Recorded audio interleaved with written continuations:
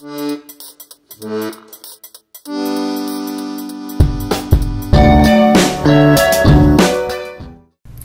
everyone, it is the end of the school day on Wednesday, March 29th. Staff is supposed to be here at 7:45 and I rolled in here at 7:40. It was not a good morning. I was so tired. I did not want to wake up. Overall, today was a really great day. Chorus is not a special. In our school, chorus is an elective. Any student in 3rd, 4th or 5th grade has actually, I think it's 2nd through 5th, has the opportunity to sign up to do chorus with our music teacher. Chorus is an elective, so they do miss class time. However, the majority of our students always sign up.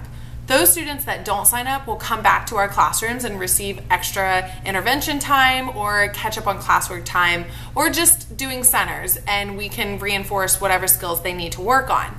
So, most of my students attend chorus, and those that do not will stay back and play this game called Classwords. If you have not heard of the game Classwords, you need to get your hands on it. It comes in grades one through five, even higher, I think. I have grades two through five. And it's a great game to reinforce synonyms or just more ways to say another word.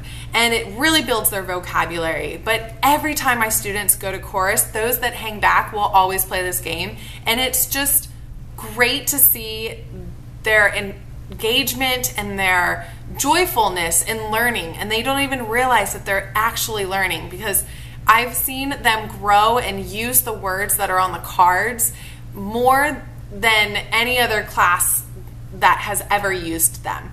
Another great thing that happened today, when our students get back from chorus, it's about 2.15. So from 2.15 to 2.30 is when I do my read aloud time. Right now, we're reading Ruby Lee and Me.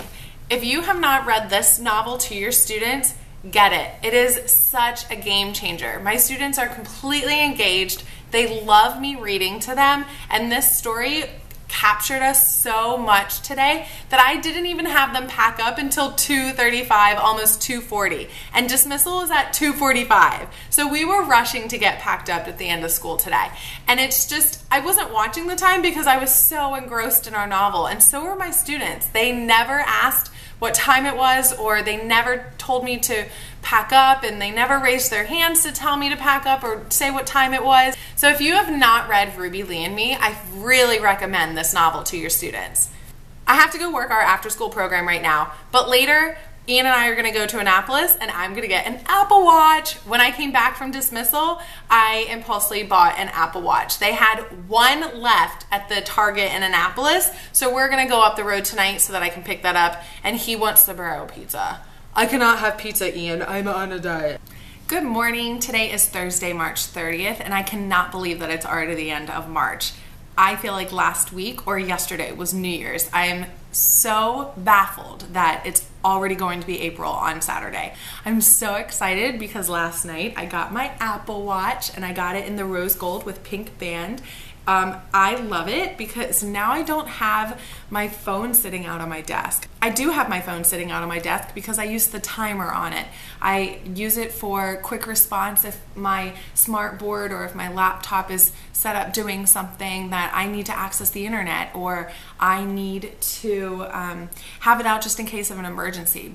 But having my Apple Watch and having the information that I need right here on my wrist I love. And it's really keeping me accountable on my diet, which I really, I don't know. When people say they're on a diet, it's kind of just like a cliche, I guess you could say. But I am keeping track of my steps and my activity level. It does tell me when to stand and when I need to be moving. And I have it set to the highest calorie loss or whatever it's called, the highest activity level. So it's definitely reminding me like every 30 minutes that I need to be walking around the classroom, which I think is a great reminder. As teachers, we need to be walking around and monitoring monitoring our students around in the classroom. One of my pet peeves is when my students use my materials and don't put them back. I am exhausted. So, overall, today was really great until I got to my mailbox at dismissal and found our class picture. Now, I've put post its over my students' pictures because I can't show them. But if you can see, I'm in the middle of talking in my picture.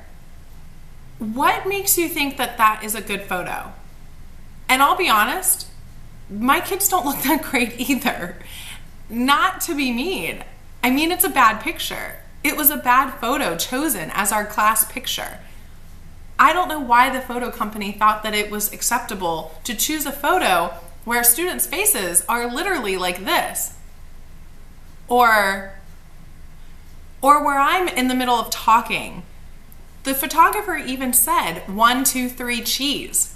And we all said cheese. We all smiled. I know it was a good photo.